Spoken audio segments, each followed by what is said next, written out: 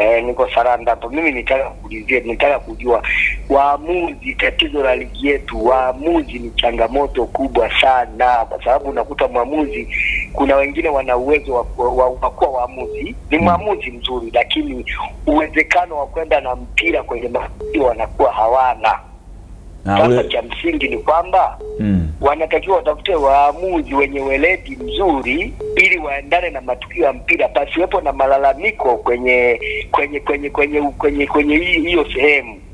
Sasa mwamuzi atakiwa aende na mpira ulipo Mm. na kama mwamuzi anafanya makosa, basi huyu huyu mnayemsema huyo ndo msimamizi wa ligi, wakae basi kwenye kamati zao, wawe wanawaonya mapema waamuzi, basi ligi yetu iwe bora zaidi, isilalamikiwe mara kwa mara juu ya waamuzi. Ndio maana mara nyingine tunahisi kwamba hawa waamuzi wanapewa hela, kumbe ni uwezo wake mdogo wa ku- wa kuwa mwamuzi.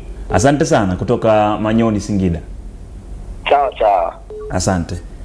Asante. Maoni yake pia amefika hapa, na uzuri hapa tupo kwenye sehemu husika hapa. Kwa hiyo ma, ma, maoni yako yakifika hapa yaenda kuchakatwa huko. Uamuzi wanatajwa sana. Ya, ni uamuzi ni ugonjwa wa dunia nzima, sio ugonjwa wa Tanzania, ila Watanzania wakizungumza uh, wanaizung, lazima waizungumzie nchi yao, lazima wazungumzie ligi zao. Unakiri kwamba ni, ni, ni janga la, la, gonjwa la dunia, dunia, Mm.